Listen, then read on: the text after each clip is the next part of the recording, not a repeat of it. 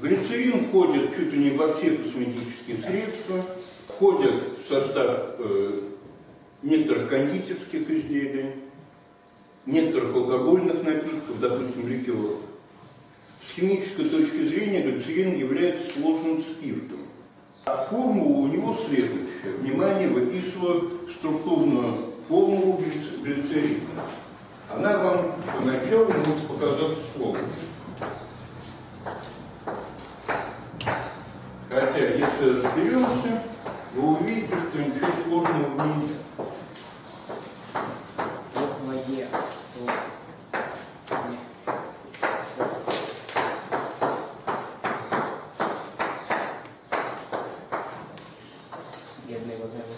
Итак, как устроен глицерин? Скелет молекулы образован вот этой цепочкой из трех углеродов. Три углерода соединены между собой парами. Так?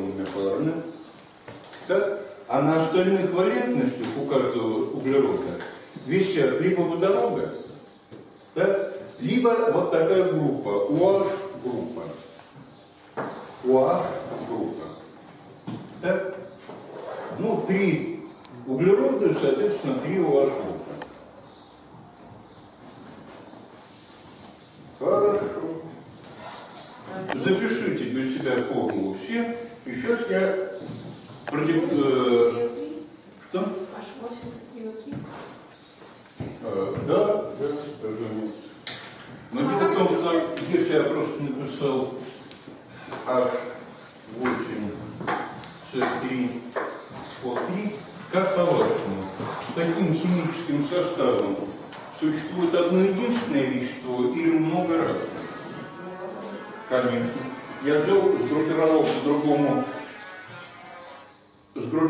по-другому атомы и получил совершенно другое вещество. А вот сейчас мы в эти игры играть не будем. Я же говорил, молекула – это конструктор Лего. Взяли, переставили детальки, из самолета получили дворец. А из дворца можно получить, не знаю, вездеход. Бога.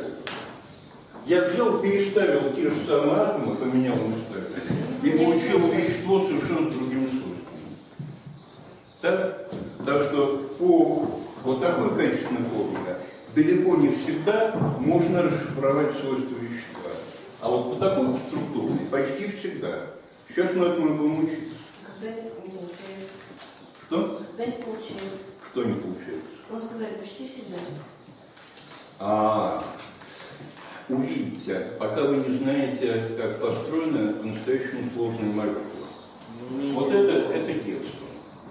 Да? Имеете в виду ДНК, РНК, вот эти вот? Ну, ДНК, РНК, белки – это монстры. Это вообще чудовище. Да? Нет, даже значительно более простые случаи все равно бывают очень кучерявые, где там, просто тупо глядя на формулу э, нельзя предвидеть некоторых свойств. Какая валентность в этом соединении у кислорода? Написать, ставьте номер один, первый вопрос, пишите ответ с точки зрения. Какую валентность демонстрирует кислород в этом соединении?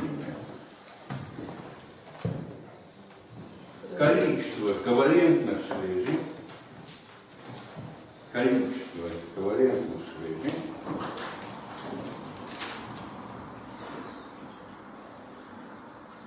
которое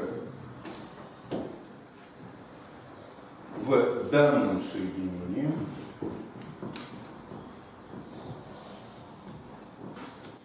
образует данный элемент. Итак, первый вопрос. Какая валентность у кислорода? А есть какая-нибудь буква, обозначающая? Нет. Нет. Так и пишут. Вал. Второй вопрос. Какая валентность у углерода? Ну и третий, вполне понятный. Какая валентность у водорода? Один. Ну, водород всегда один соединение. А почему один? А потому что у него только одно электронное облако. А у него вообще только один электрон. Да. Ну как же он может образовать больше пар? А просто никак не может. То есть у водорода всегда валентность один. А вот теперь, ребят, во всех биологических соединениях вот это правило будет работать железно. У кислорода всегда какая валентность? Два. Два. Значит, во всех органических веществах у кислорода валентность будет. У углерода какая валентность? Четыре. Так, во всей органике всегда углерод будет образовывать четыре валентных облака. Задачка будет следующая. Подойти к доске так, и выделить цветом три разные типа связи. Одним цветом так, показать неполярное, вот совсем неполярное ковалентное. Другим цветом слабо полярное ковалентное, там, где полюса не очень сильно выражены. И третьим цветом сильно полярное цвет, где достаточно сильные полюса. Идейка понятна? Три разные типа связи. Это на формуле цветом выделить три разные типа связи. Три разные типа электронных облаков. Вообще неполярная, слабополярная и сильно полярная. Сильно полярная – это там, где достаточно велика дельта заряда. Дельта – это. Где достаточно сильный местный положительный и местный отрицательный. От чего зависит сила полярности? Это количество, разного количества. Ну-ка, ну-ка, ну-ка. Еще раз тогда возвращаемся к вопросу. От чего зависит возникновение или отсутствие полюсов связи? От какого свойства взаимодействующих атомов имеется в виду ковалентная связь облака из двух общих электронов? Когда возникают полюса? Когда в одном месте электроны чаще, чем в другом. В том месте, где электроны чаще появляются, какой заряд будет? Минус, у электронов отрицательный заряд. В том месте, где электроны реже появляются, плюс. Так?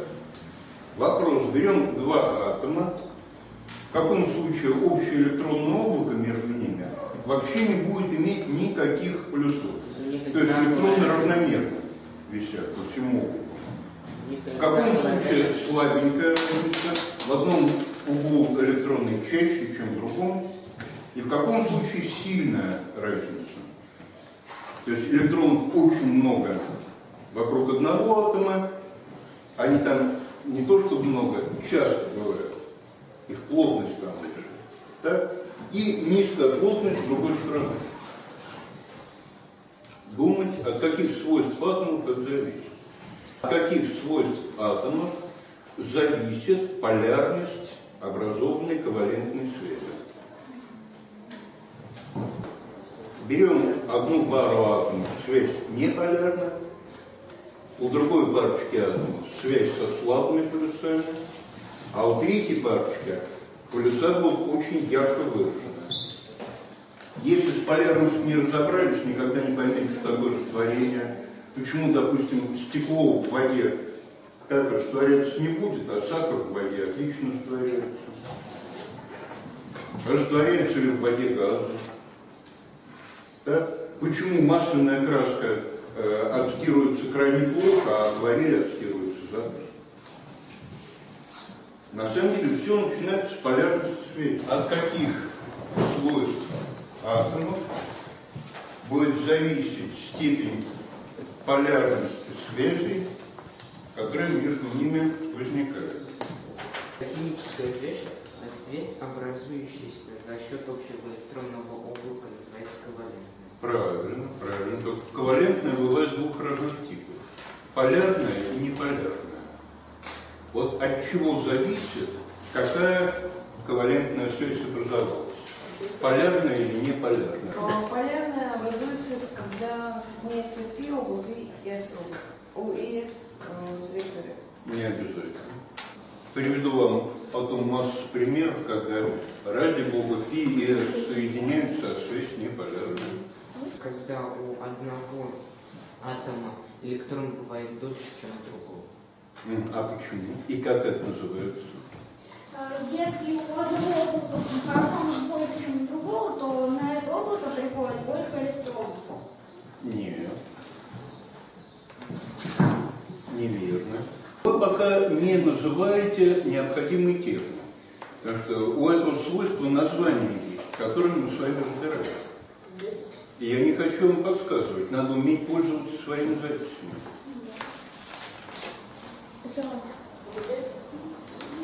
Ну-ка, ну-ка. Дельта, дельта, это само, э, сам факт отличия полюсов.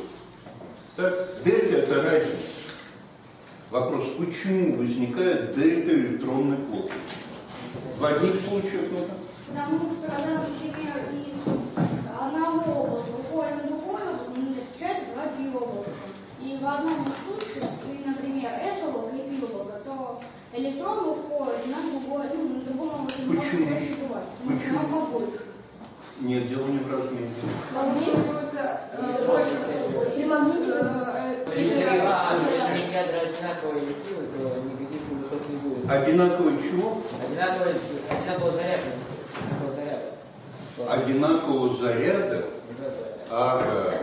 Ну, Положительного. а бывают ядра э, с отрицательным зарядом? Ну, Просто. Ну, Потому что у одного ядра заряд больше. Связано с этим, но вы пока не используете нужный термин.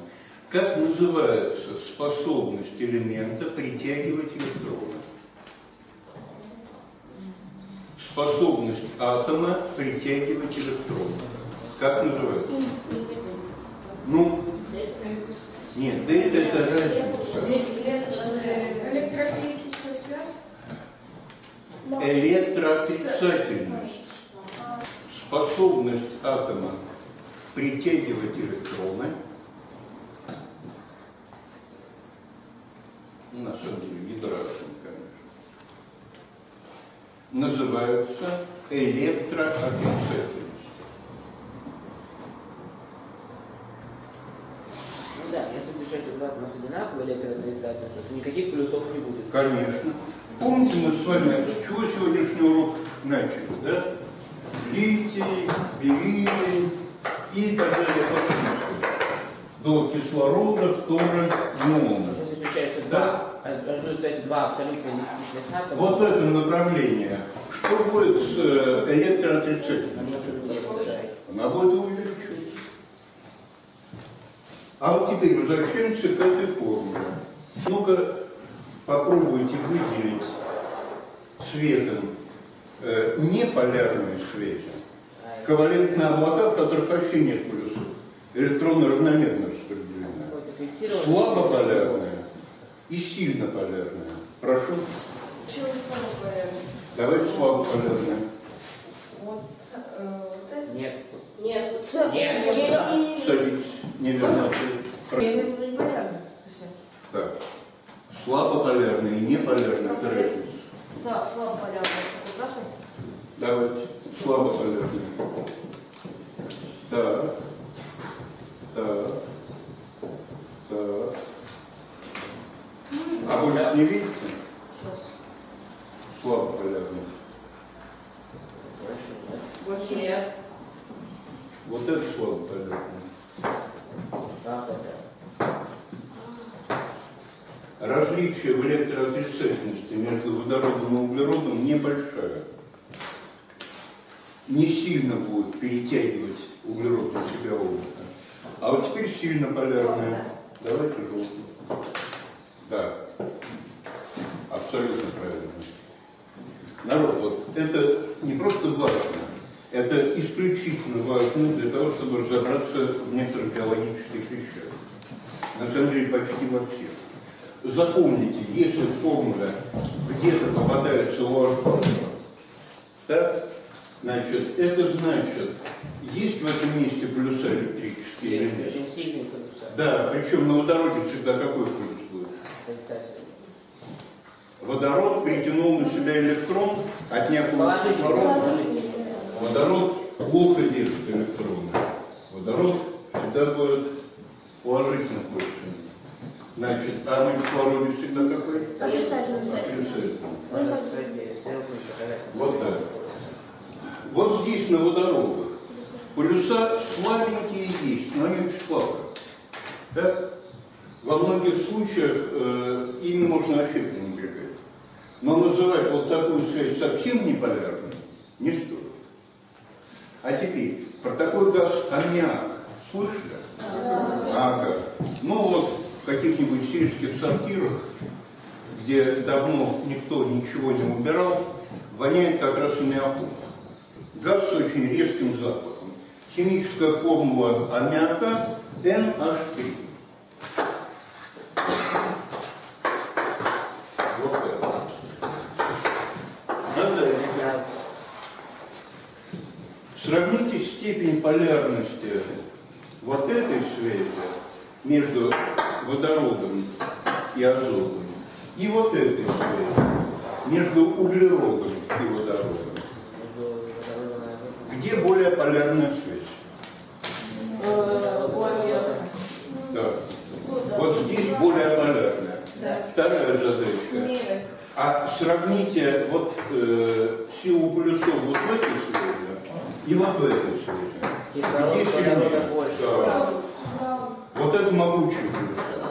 Да. Да? Здесь полюса есть, и они уже э, часто играют свою роль, но они, в общем-то, намного слабее, чем здесь. Все, подготовку сделали. а? Так, это значит, э, был мой недочет, не ваш. В прошлый раз я не продиктовал определение электроотрицательности, поэтому вы не смогли ими э, воспользоваться. Вот. Я привык, на самом деле, это вот к чему. Вообще толковый народ, более старший, когда слушает какую-нибудь сложную, интересную тему, не ждет, когда Они сами это записывают. Все порядке. сам быстренько записывает. Вовсе не обязательно красивым почерком, с подчеркиваниями, а можно сокращенно, чтобы потом просто суметь разобрать свои записи. Как это дело называется? Такая сокращенная запись. Конспект. Конспект. Конспект. На самом деле, если научитесь конспектировать, вам будет в десятки раз проще разбираться потом, вспоминать материал, пользоваться материалом. Можно не ждать, когда вам скажут, запишите. Угу.